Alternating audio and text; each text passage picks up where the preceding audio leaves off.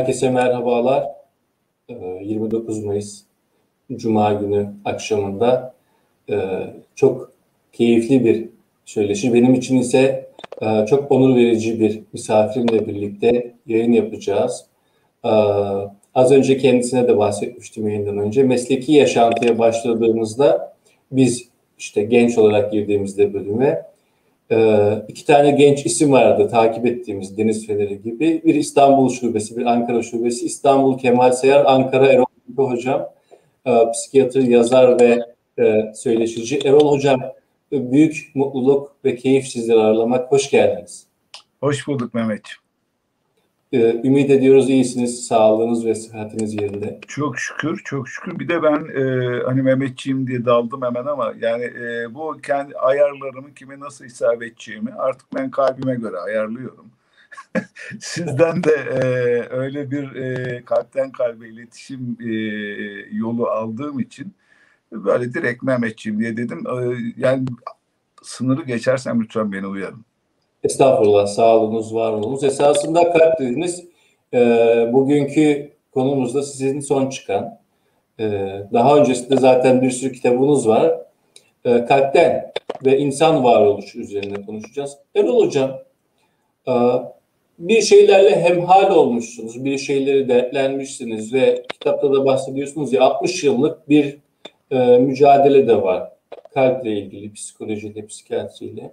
Neden bu kitabı yazdınız? Ne oldu? Erol Gökhan'ın zihninden, duygularından, mesleki tecrübelerinden ne geçti ve kalpten kitabını bizlere teslim ettiniz? Ee, çok teşekkür ederim Mehmetciğim bu soru için.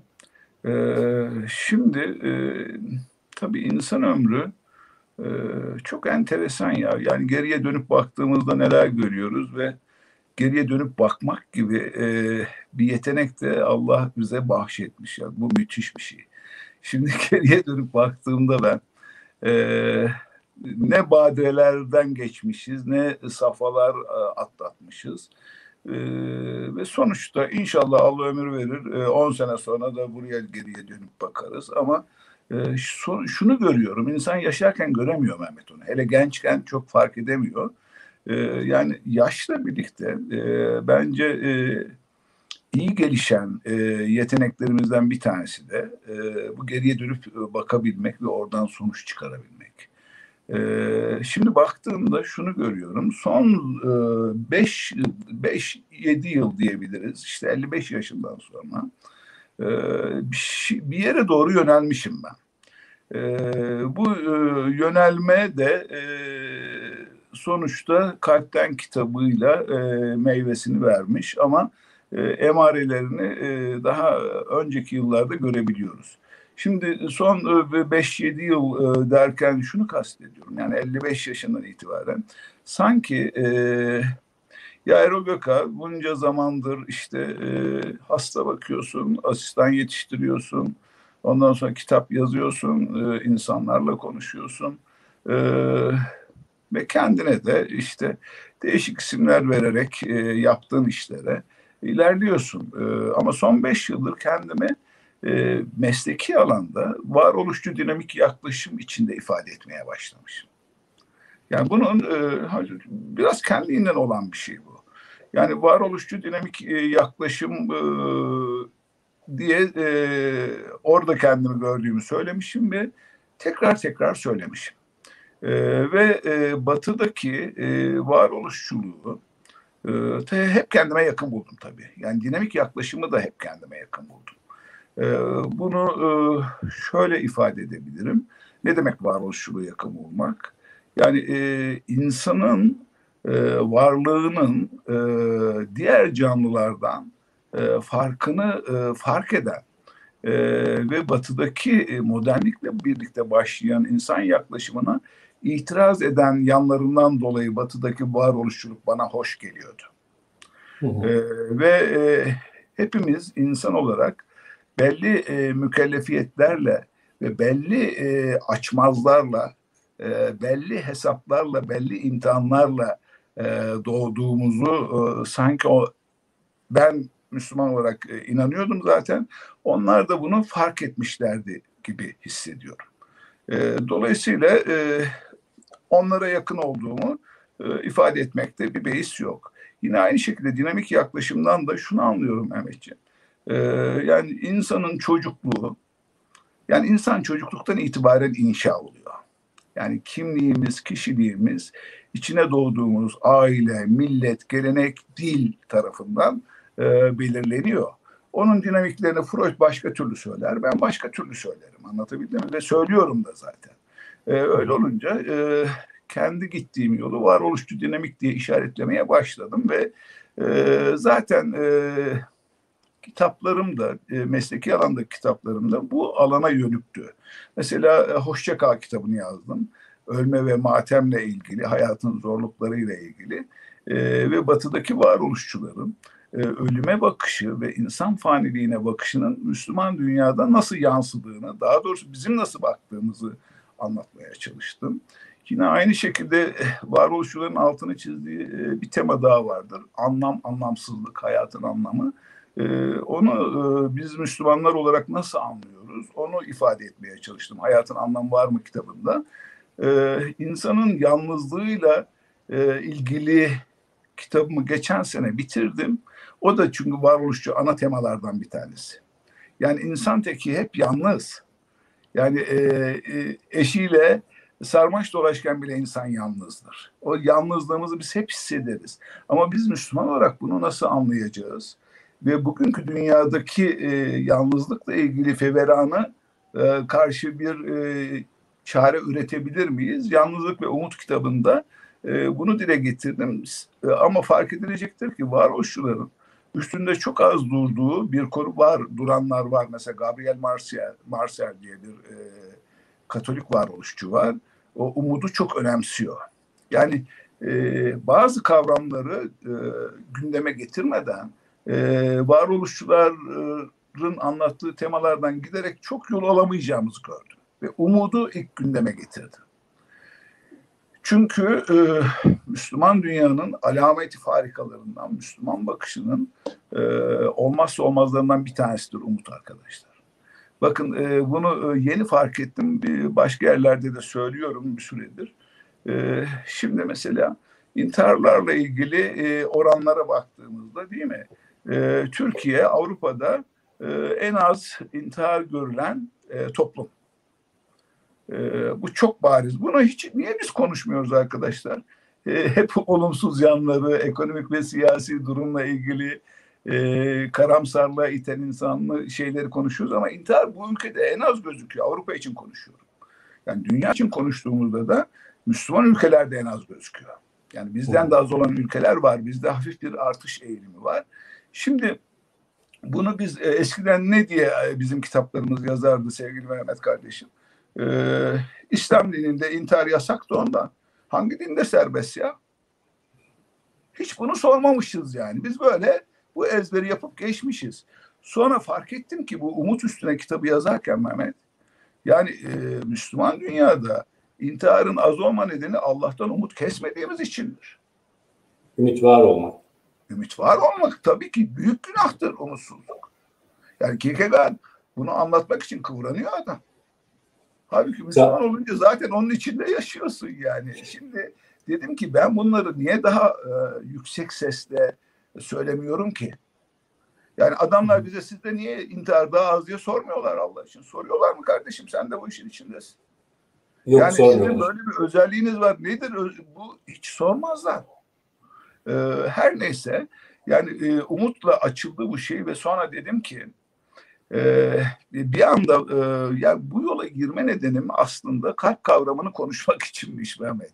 Yani e, yani e, varoluşçu terimleri, temaları konuşalım ama Müslüman olarak işte umutu gündeme getirmeden nasıl yapamazsak e, ana bakış açılarımızdan bir tanesinde e, batılı varoluşçulardan farklı olarak kalp olması icap eder.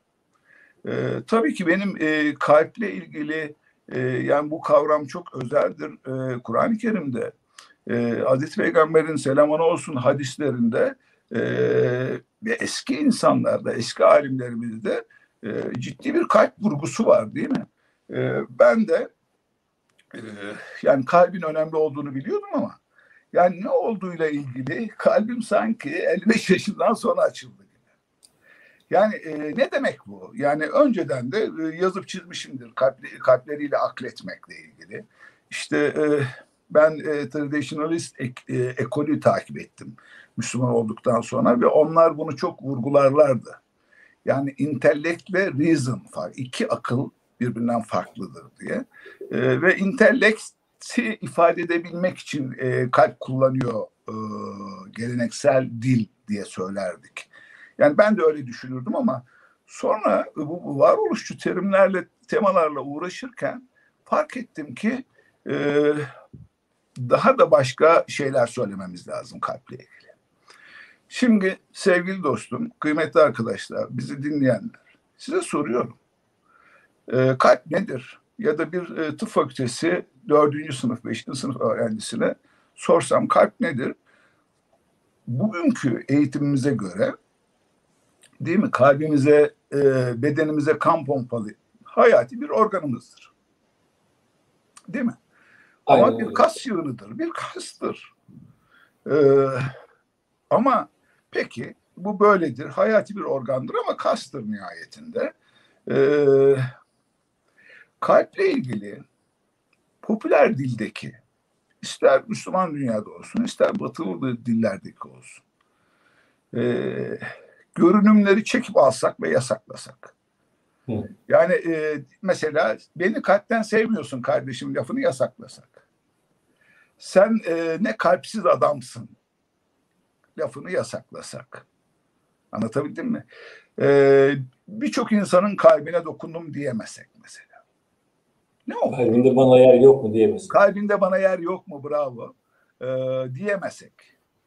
Ya kalp bizim günlük hayatımızı, iletişimimizi, algılamamızı, birbirimizi anlamamızı sağlayan temel kavramlardan bir tanesi.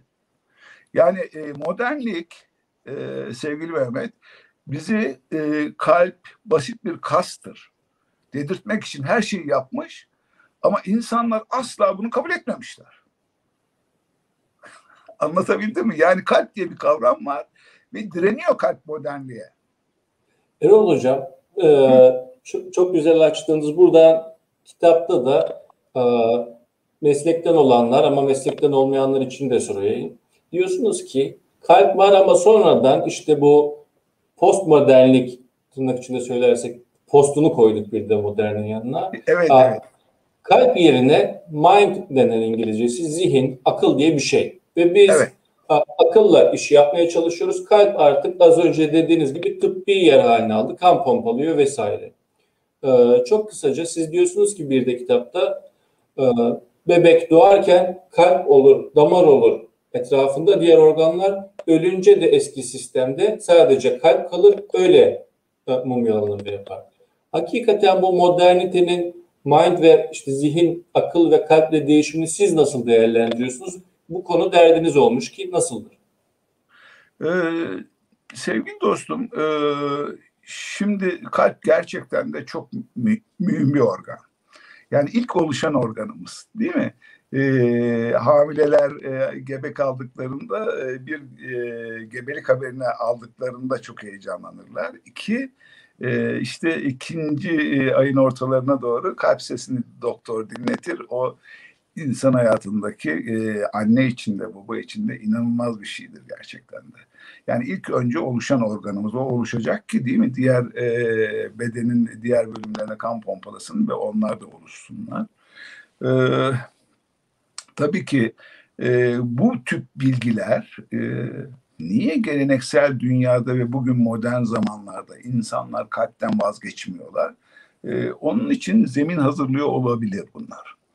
Fakat daha yakından baktığımızda e, modernlik yeni bir e, insan anlayışı ortaya koydu. Biz e, artık kalp merkezli bakmamaya beyin merkezli ve beynin e, bütün ruhsallığı da, bütün psikolojiyi de, e, bütün akliliği de beyinde üreyen, e, beynin üret, üretimi olarak görmeye başladık.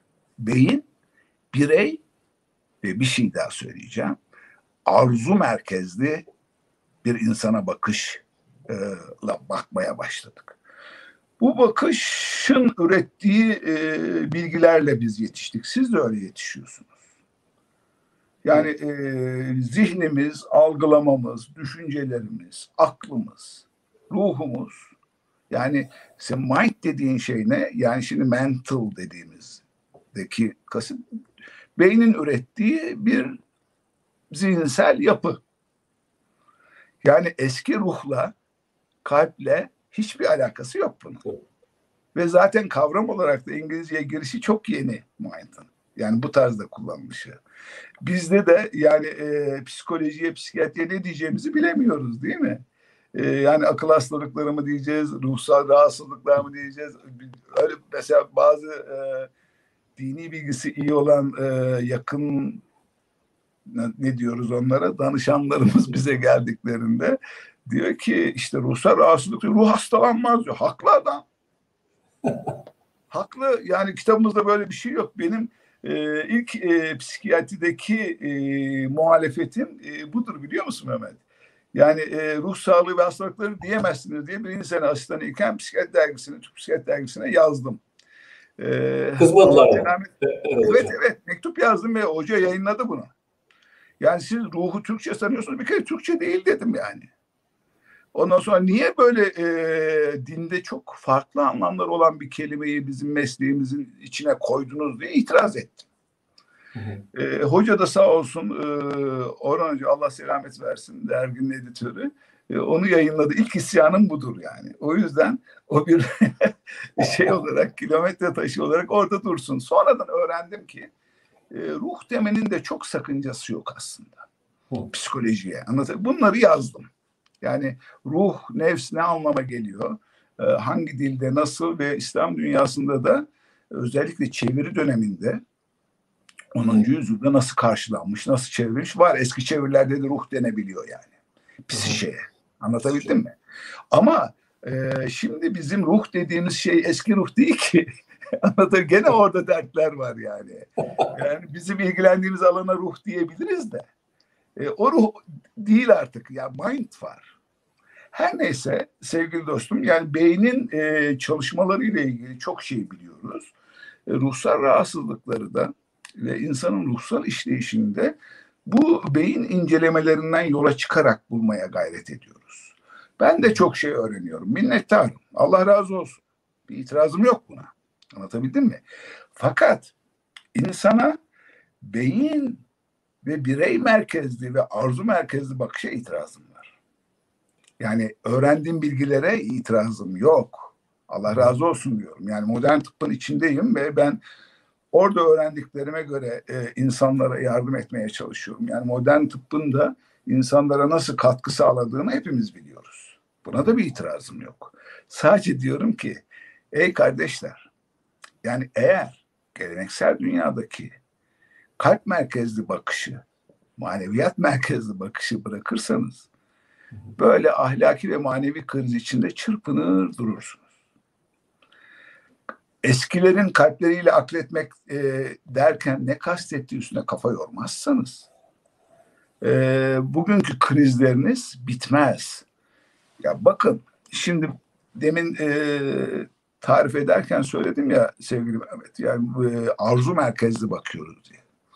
Evet. Eskiler siz de e, bakın lütfen şey dediklerinde tıp bir ruhani diye şimdi İslam Ansiklopedisine bakın. Tıp bir ruhani neymiş? Tamam mı? Bizi dinleyen arkadaşlar baksınlar. Ya da tabibül kulüp ya da tabibül ervah ruhların tabibi, kalplerin tabibi e, dendiğinde e, bunları Hazreti Peygamber'e selam olsun e, genellikle gönderme olarak söylenir. Başka anlamlarda da kullanabiliriz. Bize de denebilir. Anlatabildim mi? Yaptığımız iş anlamında. Ama bunlar e, diyeceksin ama hakkında vereceksin. Şimdi bunların içeriğine baktığımızda ya da siz e, mesela mesleğinizi yaparken e, eski alimler, Müslüman alimler gidersem de eski Yunan'da eski Roma'da ruh dediklerinde, psikoloji dediklerinde ne kastediyorlarmış? Git bir bak bakalım. Hiç böyle arzu marzu, içgüdü, dürtü falan öyle bir şey yok. Ne var? Ahlak var. Ahlak. Erdemli insan nasıl yetiştiririz? E, akıl hastalıklarını bilmiyor mu eskiler? Bilmez olurlar mı? Yani e, yani kimlerin e, dinden muaf oldukları ile ilgili değil mi? Akıl hastalıkları en başta sayılıyor. Demek akıl hastaları var biliyorlar. Yani ceza hukuki ehliyeti yok bunların diyorlar. Değil mi? Bak delilik başka bir şey, meczupluk başka bir şey. Ama akıl hastaları var. Ama hocam, e, pardon böldüm mü? Aa, kaçırmamak için hazır sizi yakaladım. Aa, dediniz ya bu işlerin ilk daha öncesine gittiğimizde e, ahlak diye bir şey var diye. E, modernite ve yiğidi öldürelim hakkını verelim. Batılı modern ya da batılı felsefeden destek alıyoruz ama hem daha bireysel bir soru olarak da benim de kafamda jimnastiğini yaptığım bir soru. E, modern psikoterapi kuramları işte Freud e, Yahudi bir bilim insanı Katolik bir Avrupa'da psikanaliz diye bir şey buluyor ve terapi gelişti diyoruz. Ama daha öncesine gittiğimizde e, Amasya'da örnekse Sabuncu Baba diye bir, e, bir alim var ve işte suyla, çalgılarla şifa dağıtıyormuş insanların ruhuna. Ya da Endülüs bölgesinde baktığımızda Elhamra'da yapılıyormuş. Öte taraftan bu insanlar e, içinde cadı kaçtı ya da kadınlar cadı oldu deyip yakıyorlarmış. E, nasıl oldu da e, biz kalp ile e, maneviyat ile, erdemler ile insanlara dokunurken bir anda oradan her şeyi transfer edip buraya, transfer kelimesinde olduğu gibi her şeyi buraya alıp yerleştirmişiz. Ee, ya benim elimde şöyle bir e, şişe su var. Bundan ben su içsem ayıp olur mu arkadaşlar ya? Ya estağfurullah. Yani e, lütfen e, kusura bakmayın. Şimdi Mehmetciğim psikiyatri tarihine baktığımızda akıl hastalıklarıyla ilgili yani e, ne yaparlarsa yapsınlar e, ortadan kaldıramayacakları bir gerçek var. Mesela İslam dünyasında intiharların az görüldüğü gerçeğini kim ortadan kaldırabilir? Yine aynı şekilde yani Batı Orta Çağ'ını yaşarken e, İslam dünyasında e, akıl hastalığına çok farklı bir yaklaşım gösterildiği e, ve çok e, farklı tedavi girişimleri olduğunu da ortadan kaldıramazlar. Şimdi e, kalp konuşuyoruz ya. Kalbi anlarsak kardeş bunları da anlayacağız. Yani niye e, Müslüman dünyada e, böyle bir yaklaşım vardı? E, bütün sırlar kalpte. E, demin onu anlatmaya çalışıyordum. Yani eskiler akıl hastalıklarının nedenlerini e, ararken e, oraya çok odaklanmamışlar. Nereye odaklanmışlar? O normal insana. Sağlıklı, ahlaklı insan nasıl yetiştirebiliriz erdemli insan diye. Bunu şuna benzetebiliriz. Pozitif psikoloji var ya şimdi. Seligman sayesinde çıktı.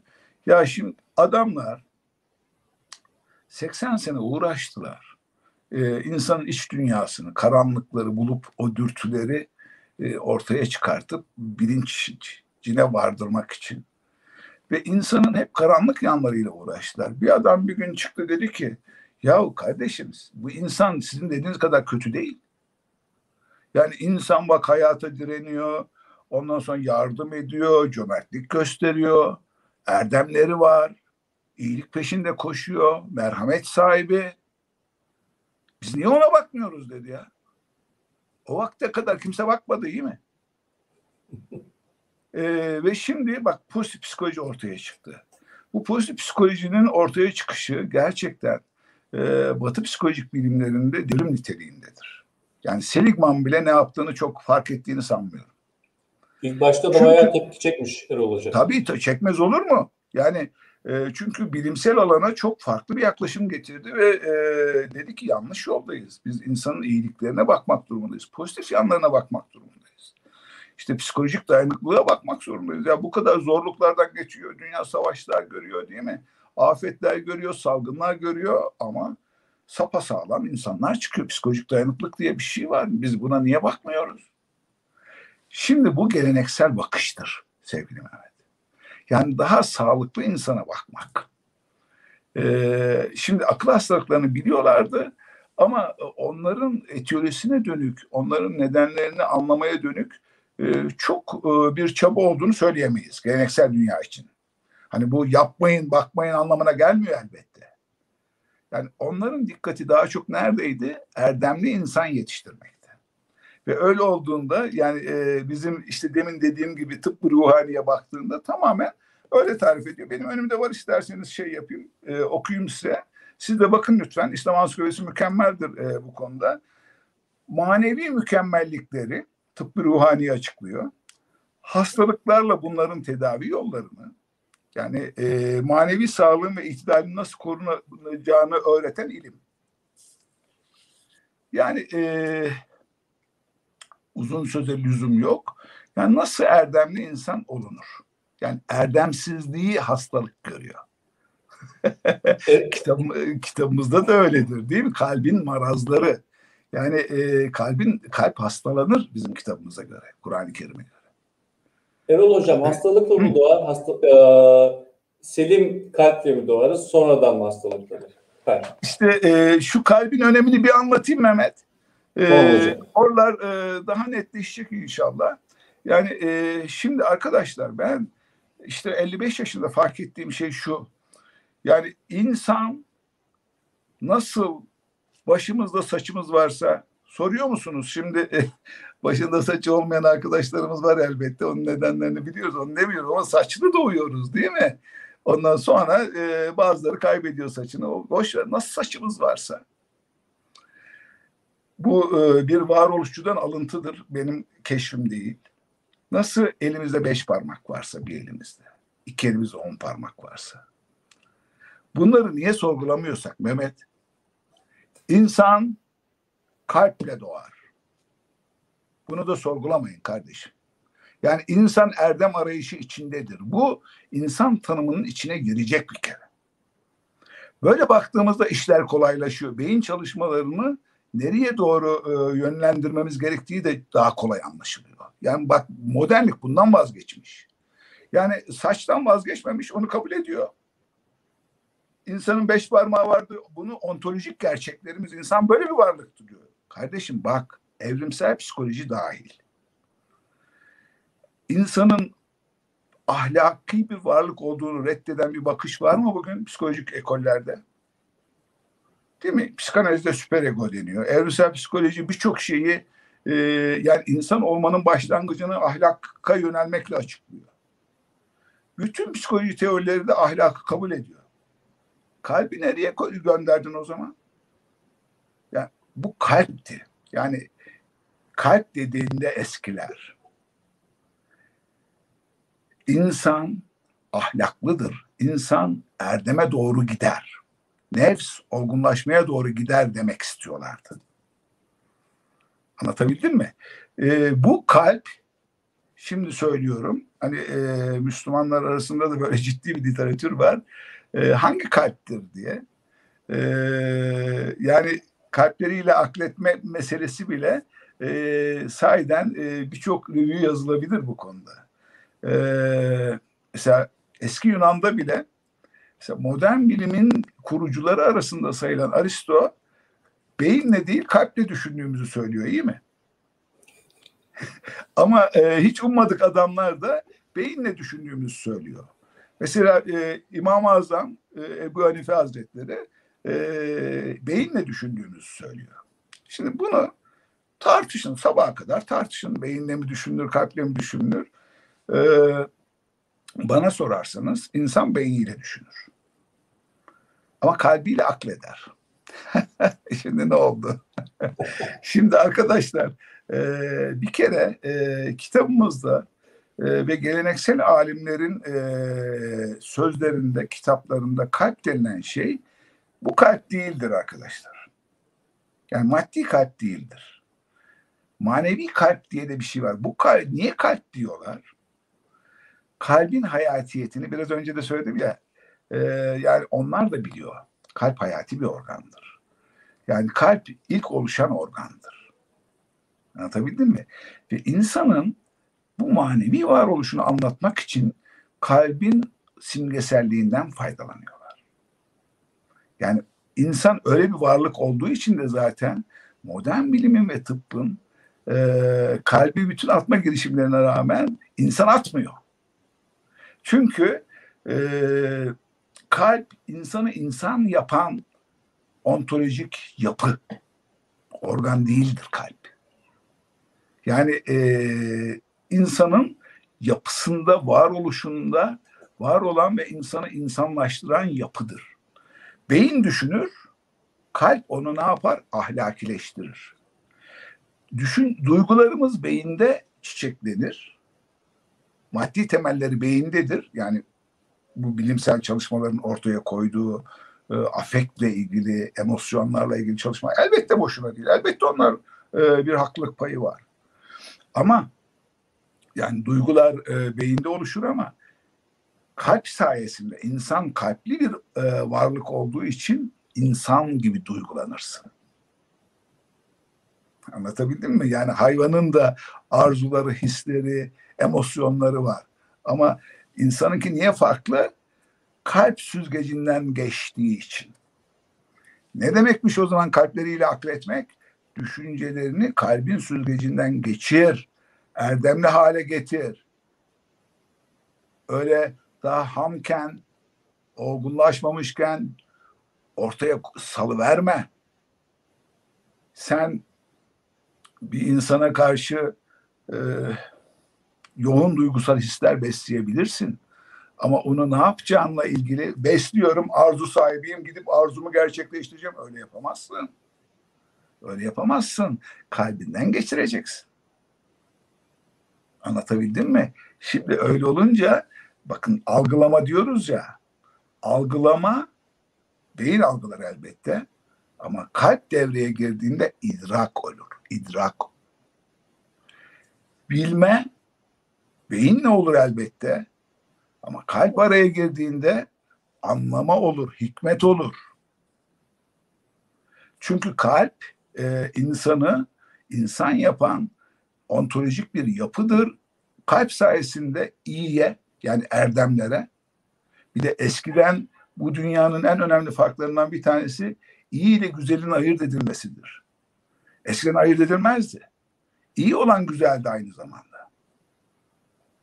Şimdi insanları tekrar zarif, nazik hale getirmek için niye e, başarılı olamıyoruz? Çünkü iyi ile güzel koptu birbirinden. Bak kalbi kaybettiğimizde neleri kaybettik? Hakikat arayışını e, sadece belli alanlara ve nicelikselliğe mahkum ettik. Yani sen kalbin önemini bilmiş olsaydın seni böyle yaratan yaratıcıyı da görürdün zaten. Yani niye ben erdemli olmak zorundayım? Niye benim yapabileceğim en önemli şey iyiliktir? Niye insan e, iyi olmak durumundadır? Bütün bunlara baktığında doğrudan doğruya e, kalbin sayesinde yaratıcına giderdin. Yaratıcını görürdün. Anlatabildim mi? Maneviyatının e, kaynağını da kaybettin.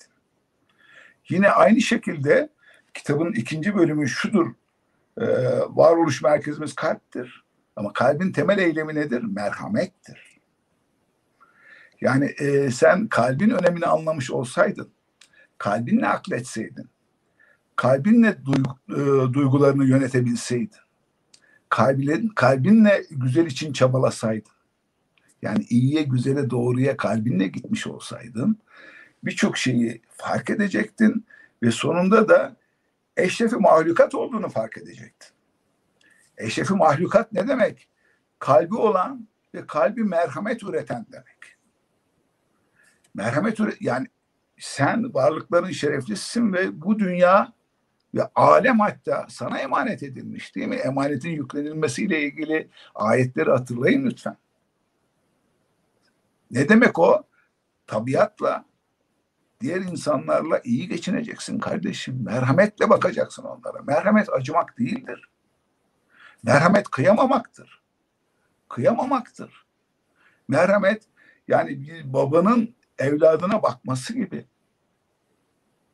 varlığa bakmaktır. Yani çiçeklere bakmaktır, hayvanlara bakmaktır. Erol İnsan Hocam, kardeşine kıyamamaktır.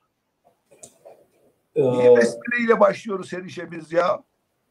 Besmele nedir? Hani e, güzel bir Türkçedir esirgeyen bağışlayan. Ve böyle baktığında bak hangi dünyalar açılıyor sevgili Mehmet. Yani biz bunları dünyaya söylemeyelim mi? Şimdi e, maddi kalp kan üretir. Manevi kalp merhamet üretir. Merhamet sayesinde diğer erdemler oluşur. Yani bunları ben çok Allah nasip etti 55'inde e, fark ettim ve anlatmaya çalışıyorum. Ya, çok kıymetli. Bizim için en azından 60 senelik birikimi e, 180 sayfa ama 180 sayfa niceliksel kısmı, niteliksel kısmı çok daha yoğun. E, Erol Hocam, merhamet dediniz ya, e, Sa- Sabahattin Ali'den de atıf yapmıştınız. Acımak değil dedi, harikuladeydi ve Zülfü Livaneli'nin kitabındaki kız çocuğu ki, Zülfü de acımak olarak algılıyor. İtiraz ediyoruz ona yani. Bir tanımlasanıza merhameti. Biz dil olarak, dil varlığın meskeni diyorlar ya. eee, nedir merhamet? Acımak değil ama ne? Kalp bilgisi ve yapısı. Ee, sevgili Mehmet yani e, sanıyorum e, kalbin e, ne olduğunu anlatabildim. Değil mi? Anlatamadıysam kabahat benimdir. Yani demek ki başımızda saç varsa, beş parmağımız varsa insanın da maddi ve manevi kalbi vardır. Maddi kalbi bütün e, organlara kan e, püskürtür, e, onların yaşamasını sağlar. Manevi kalpte merhamet yağar onun e, bütün varlığına. Merhamet kıyamamaktır. Bu kalsın aklımızda. Ne demek kıyamamak? Yani çünkü insan zalimdir. İnsan, insanda e, şimdi biz bir yanıyla konuşuyoruz.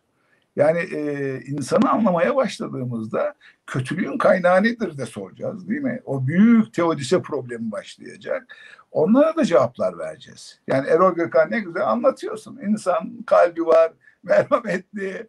Ondan sonra e, e, bu kötülükleri kim yapıyor kardeşim? Tabii ki biz yapıyoruz.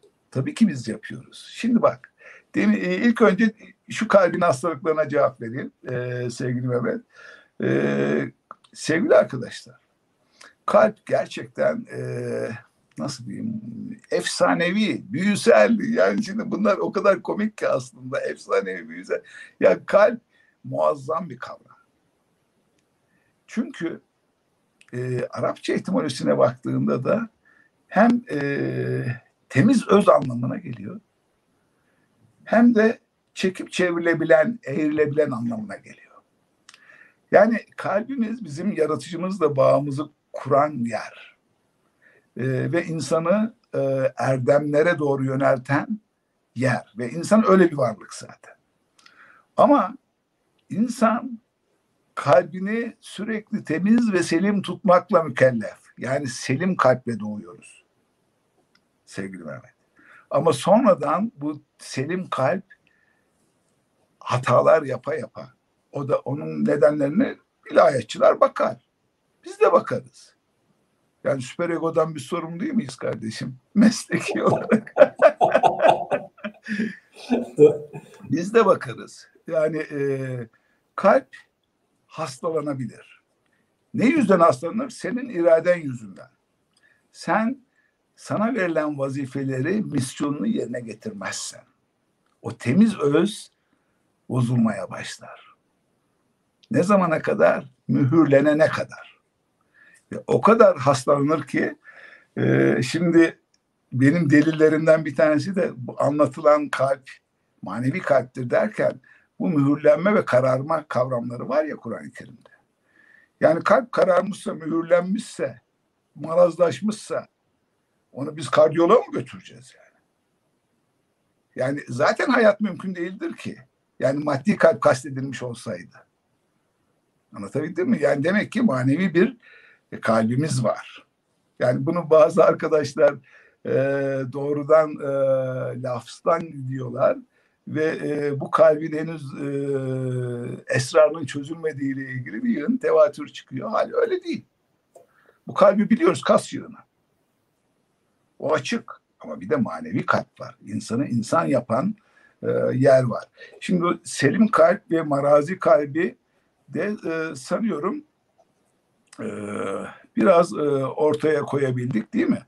E, yani kalp insan, her insan İslam fıtratı üzere doğarı siz buradan anlayın artık. Anlatabildim mi? Her insan selim kalple doğar. Bizim birinci vazifemiz diyorlar ya, kalbim temiz benim diyor. Ya olabilir de. Onu bilmem. Ama bir şeyi biliyorum. İnsanın temel vazifesi kalbini temiz tutmaya çalışmak. Kalbim temiz deme bana. Kalbini temiz tutmaya çalış. O nasıl olur? Erdemli olmaya çalışarak olur. Yani iyinin, güzelin ve hakikatin peşinden giderek olur. Hani durduk yerde kalbim temiz benim yok onu, onu, onu ben yemem. yani e, ama şunu biliyorum. Kalbini temizlemek ilahi bir emir. Yani e, bunu ben inançlı olduğum için ama bunu e, diğer insanlara da söyleyebilirim. Yani sen seni erdemler düzeltebilir. Ben mesela o Roma'da olsaydım şeyi söylerdim ve Müslüman olmasaydım orada da hani benim oraya e, bir gün konuşuruz inşallah. Yani e, İnşallah. e, yani o zaman da e, Sokrat'ın ve Stoacıların yolundan giderdim. Onlar da benzeri şeyler söylüyorlar. Anlatabiliyor Erdemli ol diyor yani. Yani e, ve sen e, dünyayı e, bilişinle görürsün ve e, algılarını her şeyi bu bakış oluşturur. Ve o yüzden sen yapabileceğin tek şey iyi davranmak ve iyiye yönelmektir. Öyle ol diyorlar. Sadece e, bunu ben e, inancı ne olursa olsun bütün insanların kalp sahibi olduğunu biliyorum. Yani kimlerin kalbi mühürlü onu bilmiyorum sadece. Anlatabildim mi? Öyle olunca bütün insan kardeşlerimden umudum var. Ben sadece e, hani Müslüman olduğum için onun terminolojisi içinden konuşuyorum. Yoksa e, söylediğim şeylerin e, evrensel manaya geldiğini biliyorum. Yani e, inancı ne olursa olsun iyiliğe yönelirse, merhametli olursa, merhamet nedir diye sormuştun. Yani e, bütün yaratılmışa kıyamayan bakışlarla bakarsa, tabiatı, alemi talan etmeye kalkmazsa, insan kardeşine zulmetmeye kalkmazsa, ben o insandan umut var.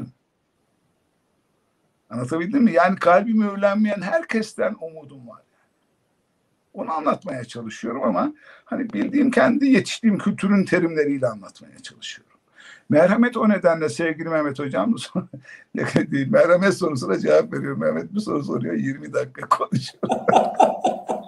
Ondan sonra e, ama de, asıl derdiniz anlaşılmak. Şimdi e, değil mi daha e, bence e, daha iyi a, anlatabildiğimi sanıyorum. E, merhametli olmak işte bu demek. Kıyamamak ve eşrefi mahlukat olma bilinciyle davranmak. E, Şimdi besmele tefsiriyle ilgili de bir şeyler söylemek isterim. Onu da başka zamana bırakalım. Yani e, çünkü bizim meslektaşlarımız da Erol Hoca sahiden ilahiyatçı olmuş falan demesinler. Ee, bir, bir, bir, bir sonraki program için inşallah söz alırım sonrasında. Bana kalsa ben dinlerim ama e, şey için soru yazıyorum arada alttan. Evet. Ee, acaba neresi bunun tam yeri sorsam mı sormasam mı? Dinlemek çok daha keyifli. Sormak, sormak. Ya zaten e, can kulağıyla dinlersek mesele yok ya. Yani soru olsa da olur, olmasa da olur. Onu çok dert etmeyin. Sadece iyi bir haber vermek istiyorum. Yani kalpten e, tabii küçük bir kitap. E, ama e, biraz daha... Evet evet. E, güzel de bir kapak oldu değil mi? E, şimdi yeni bir kitabım geliyor inşallah. E, Psikoloji, Varoluş ve Maneviyat diye. Burada konuştuklarımızı daha batılı varoluşçularla biraz hesaplaşarak, Sartre'ın ateist varoluşçuluğuyla hesaplaşarak ve Hristiyan varoluşçuları biraz yanımıza alarak, yanımıza alarak bu dediklerimi e, anlatmaya çalışan bir kitap yazdım inşallah. E, o da yakında piyasada olur. Erol Hocam zaten dediniz ya dediğim şeyin evrensel olduğunu düşünüyorum. Seligman da zaten şeyden bahsediyor araştırmalarında yaptığındaki harikulade iyilik yapan insanın mutluluğu işte maddi bir kazanım sağlayan insana göre hem daha uzun hem daha yoğun olarak hayatında kaldı. Kalbi selim tuttuğu zaman birey zaten otomatik olarak mutlu olan bir canlıya dönüşüyor. Hem, kesinlikle, e, kesinlikle. Ya zaten e, şimdi e, Mehmet bana girişte o sırrı söyleyebilirim değil mi? E, her zaman genç ve yakışıklısınız dedi. Ben de öyleyim dedim. Ama bir sır daha ilave edeyim. Ya ben de eskiden e, güzel görmediğim, çirkin gördüğüm hatta insanları güzel görüyorum artık ya. Ya kardeşim şu nimete baksana. Yani e, kalp gözüyle baktığında, bu kalp gözü tartışması da tasarrufi anlamda kullanmıyorum. Yani e, çünkü kalbi e, değerini anladığımızda zaten birçok şeyi e, fark ediyoruz. Bakın ben bir süredir sosyal medyada İbni Hazm cümleleri paylaşıyorum. E, İbni Hazm zahiri bir imam. Tasavvufla uzaktan yakından alakası yok. Ama e, sadece kitabi bir eğitim aldığında e, ve Hazreti Peygamber'in hayatını örnek aldığında e, o kadar önemli cevherler çıkıyor ki orada. Anlatabildim mi? Öteki ekol farkı. Tasavvufu bakarsın bakmazsın. Ama e, temel terminolojiyi anladığında e, ona verdiğin içerik değişik olabilir. Ama kalbi anladığında ahlakı anlıyorsun. Erdemi anlıyorsun. Ama sen erdemli olma yolunu nasıl yaparsan o artık metot farklarıdır. Benim gözümde öyledir. O yüzden e, Müslüman kültürde ortaya çıkan e, her şey de benim e, gözümde çok büyüyor ve güzelleşiyor. Şimdi öyle kalp gözüyle baktığında e, ya insanlar güzelleşiyor kardeşim çok net yani. E, ve yani çiçeklere, böceklere, hayvanlara aynı gözle bakamıyorsun ki. Ben bundan mesulüm diye bakıyorsun ya. Yani e, insan kardeşine kardeşin gibi bakıyorsun yani. E, ve kelimeler yerli yerine oturuyor. Evet o yüzden genç ve yakışıklıyım. Erol Hocam, e, e, sağ olun, var olun. Kalp dedik, kalp ve ahlak dedik. Sonra bir merhamet dedik. E, güzellikten de bahsettiniz ya. İyi ve güzel, estetik ve güzel. Kalple güzellik ilişkisinden de biraz bahsetsiniz. Tabii. Şimdi e, bir kere bir kez daha hatırlatayım arkadaşlar. Yani Kalpten kitabımda zaten e, sürekli yazmaya çalıştığım şey e, en konu bir mottodur. Yani biz e, kalpli varlıklarız. Kalbimiz sayesinde insanız. İnsan nedir o zaman? Erdeme yönelik varlıktır. Ahlaklıdır. İnsan nedir o zaman? Güzele yönelik varlıktır. Ya hayvan güzele yönelik olabilir mi? Estetik hissi olabilir mi hayvanın? E şimdi beyin incelemelerinden gidersen oho 100 senede buna cevap veremez. Verebiliyorlar mı? Yani e, beyin çalışmalarında zihnimizin işleyişiyle ilgili birçok şey söyleyebiliyoruz. Değil mi? Ama iyilik tercihimizle ilgili bir şey söyleyebiliyor muyuz? Hayır. Hayır o varoluşsaldır. Yani insan e, iradesiyle karar verecektir. Yani. Ve iradeyi de beyin incelemelerinden bulamazsın. Sabah kadar incele yani. Yüzyıllarca incele. Aynı şekilde de estetik hissine de ulaşamazsın. Çünkü o da varoluşsaldır ve o da kalbin bir edimidir. Anlatabildim mi? Güzel hissi de e, büyük ihtimalle yani alemdeki harmoniyi, uyumu, düzeni değil mi? Çatlak yok, çatlak.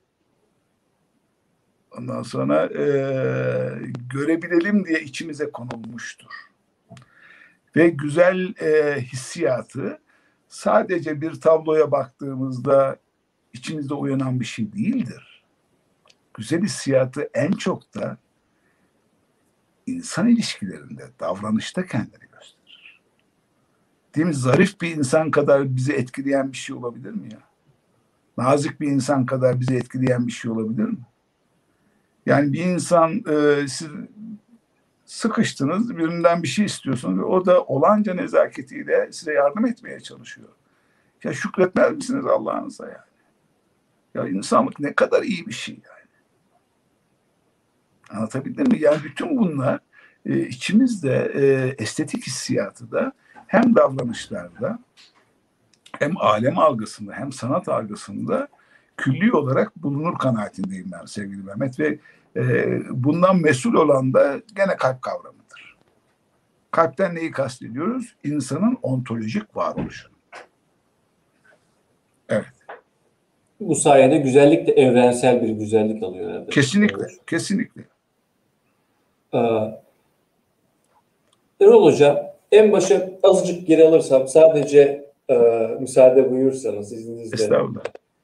Dediniz ya bu modernite ya da postmodernite e, maddi kalp ile manevi kalbi ayırma durumu var. Neden böyle bir şey var diye sorsam? Ya da neden böyle bir realite var diye sorsam? Biraz Aa. daha açar mısın Mehmetciğim onu? Bu manevi olanı Evet. dolayla e, akletmeyi ortadan kaldırmasındaki postmodernite sisteminin amacı nedir diye sorsam. Siz tabii kitapta Aha, kapitalizmle okey. bahsediyorsunuz Anladım ama anladım. Ne güzel okey okey dedim. İyi peki. Şeyi e, e, ya şöyle e, düşünüyorum. Yani bunun e, yani mo- modernliğin tamamını bundan dolayı suçlayamam ama e, başlangıçta e, yani modernlikteki e, hakim anlayışın e, oldukça materyalist olduğunu söyleyebilirim. E, ve oldukça materyalistten kastım nedir? Dini inancı olmayan. Anlatabildim mi? E, maneviyat hiç olmasa çok iyi olur. Gözüyle bakan. Hani e, biz, bizde de var ya öyle radikal aydınlanmacı. Yani e, her şeyi böyle maddiyatla, e, maddi yapılarla izah ediveren. E, fakat e, tamamının böyle olduğunu söyleyemem. Yani e, daha sonra çünkü özellikle Almanya'dan ortaya çıkan aydınlanma akımıyla birlikte e, insanın e, maneviyatına e, fark eden, bunu atamayacağımızı e, gören bir anlayışta ortaya çıkmıştır. E, ama e, özellikle modern bilimin or- kurulmasında, modern bilim de e, çünkü e, bugün bizde bilimsel kanıtın var mı dediğimizde ya da kanıta dayalı tıp dediğimizde ne oluyoruz? Maddi delil istiyoruz. Değil mi? Maddiyata en yakın olan e, kısımdır modern bilimin işleyişi. Bilim öyle işler. Ben ona bir itirazım da yok. Tabii ki e, kanıta dayalı olacak. Tabii ki maddi deliller göstereceksin. Hangi alanda çalışırsan çalış. Bilim öyle işler. E, şimdi maneviyatın yerini bilim alacağı sanıldı. Ve bilimin de maddi olarak her şeyi e, göstereceği sanıldı. Mesela aydınlanma filozofları e, insanın korkularının e, eski dini inançlardan e, ve gizemli yapılardan kaynaklandığını düşünüyorlardı. Ve insanın korkularının bilim bunları aydınlattıkça azalacağını sanıyorlardı biliyor musun? Yazdı adamlar bunları. Hiç öyle olmadı vallahi anksiyeteden kırılıyoruz yani. Korkudan kırılıyoruz yani. Şimdi e, o yüzden e, modernlik dediğimiz şey de yekpare değil. Ama bilimdeki etkisi e, tamamen e, maddi delillerle gösteren ve öyle olunca tam kavram açıklayamadığı her şeyi kovan kalp gibi. Anlatı maneviyat gibi. Ne demek istiyorsun falan diye. Halbuki ben şunu anladım şimdi. Nasıl Alman aydınlanması kardeşim bu insan maneviyatını kovmana lüzum yok e, diyebildiyse bizim de şimdi bilime e, yani insanın inançlarıyla maneviyatıyla oynamayın. Onları e, anlamaya çalışın. Onlardan öğrenmeye çalışın dememiz lazım. Yani bilimin kendi işleyişine itirazım yok. Ama e, ideallerine, maneviyatı kovmaya çalışan e, 200 yıl önceki e, tuhaf hedeflerine itirazım var. Yani e, maneviyat kötü bir şey değil. Yani e, maneviyatı kovarsan insan e, erdemsiz, estetikten anlamayan, zarafetten, nezaketten anlamayan bir varlığa dönüşüyor. E, dememiz lazım diyoruz da.